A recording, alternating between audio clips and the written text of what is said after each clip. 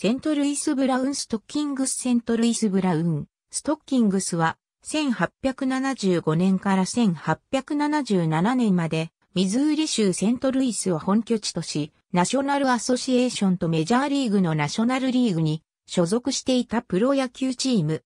1875年に球団は創設され、当時強かったシカゴホワイトストッキングスなどに倣って、ブラウンストッキングスという愛称を付けられた。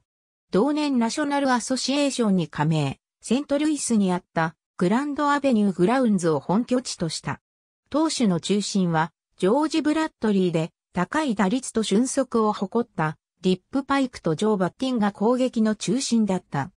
また同年、後の300勝投手であるパッド・ガルビンがデビューした球団でもある。1875年を最後にナショナルアソシエーションが解散した後、チームは翌年発足したナショナルリーグに加盟した。1876年6月15日、チームの主力投手だったジョージ・ブラッドリーがメジャーリーグ史上最初のノーヒットノーランを達成するなどの活躍をし、この年チームは7割以上の勝率を上げた。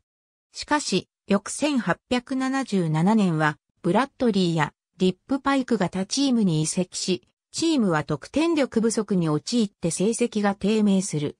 球団は補強を画策し、ルイビル・グレーズの主力選手だったジム・デブリン、ジョージ・ホールと移籍の契約を結んだ。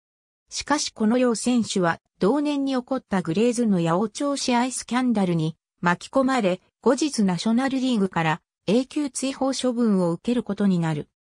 ブラウンストッキングスはこのスキャンダルの余波を受ける形で同年倒産に追い込まれた。球団のフランチャイズ権は地元セントルイスの資産家に1800ドルで買い取られ、5年後の1882年に、現在のセントルイスカージナルスに至る、新たな球団ができることになる。ありがとうございます。